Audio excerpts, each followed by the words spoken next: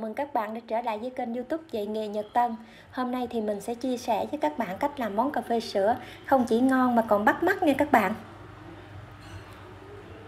Trước tiên thì mình sẽ đi pha phim cà phê.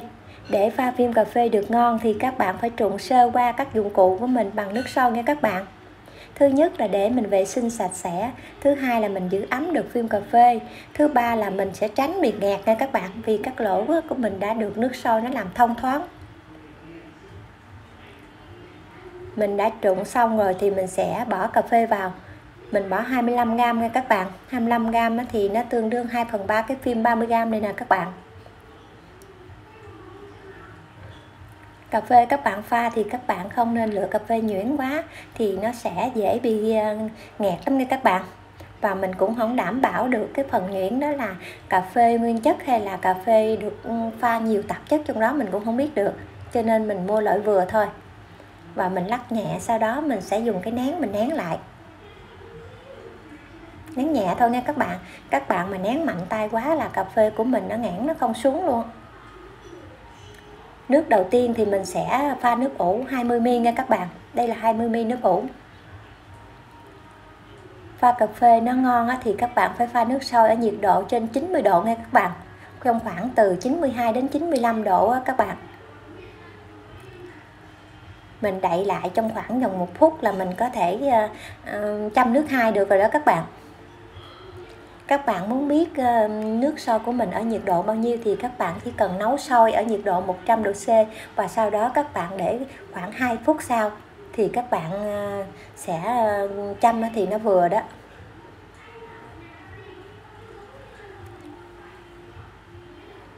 Bây giờ thì mình sẽ tiến hành chăm nước thứ hai nha các bạn nước thứ hai mình sẽ chăm 60 ml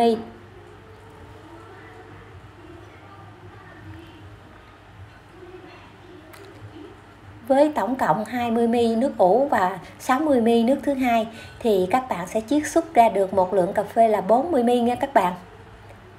Vừa đủ để các bạn pha một ly cà phê đá hay là ly cà phê sữa. Nó không dư mà cũng không thiếu. Nếu các bạn à, pha loãng quá thì cà phê sữa của mình nó sẽ không ngon các bạn thấy cà phê sữa như vậy chứ nó đòi hỏi lượng cà phê của mình phải chất lượng nha các bạn. Thì ly cà phê sữa của mình nó mới ngon. Chứ không phải mình nói mình pha cà phê sữa do mình thích uống sữa cho nên cà phê giảo cũng được. Bây giờ thì phim của mình đã xuống cà phê đó các bạn. Mình sẽ bắt đầu pha ly cà phê sữa nha các bạn.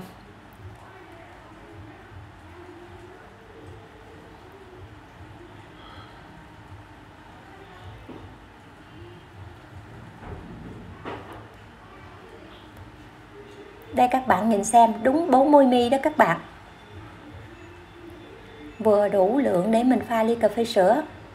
Trước tiên thì các bạn sẽ đổ khoảng à, chừng à, à, 20 mi thôi nha các bạn. 20 mi mình sẽ pha ừ, phần đáy đi.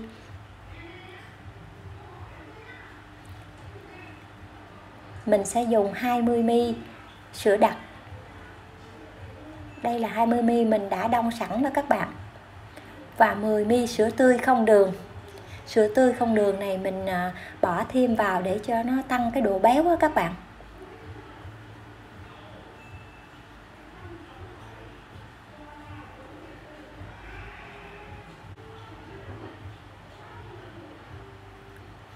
Mình khuấy cho hỗn hợp của mình nó đều xong rồi mình sẽ chăm đá nha các bạn.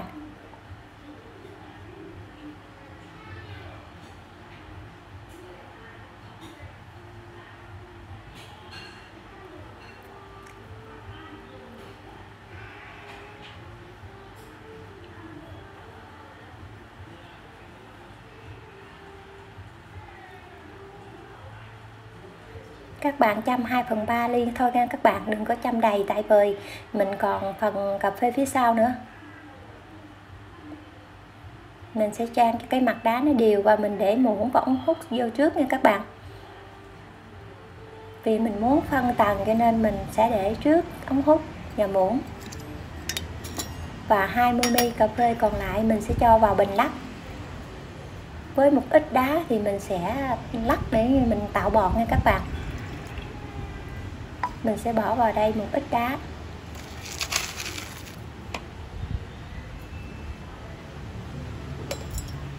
Các bạn lắc cho thật nhanh nha các bạn. Để mình tạo được bọt cho nó nhiều thì nó mới đẹp cái ly của mình.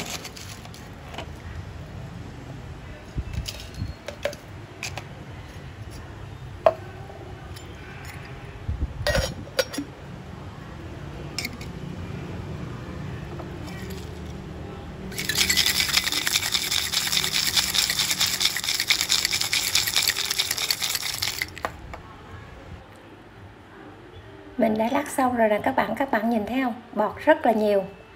Mình sẽ châm vào ly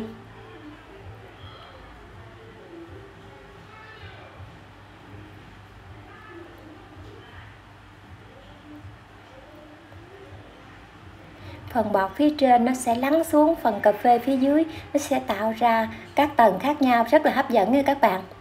Phía trên là bọt, cà phê và tới phần dưới là phần hỗn hợp sữa đó các bạn các bạn nhìn xem, một tầng, hai tầng, ba tầng, rất là hấp dẫn.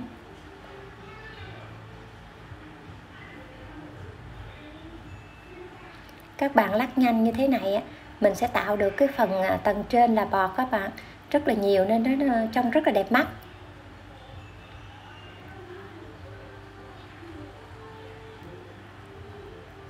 Video của mình cũng xin khép lại tại đây. Cảm ơn các bạn đã quan tâm theo dõi. Hẹn gặp lại các bạn ở những video sau. Xin chào.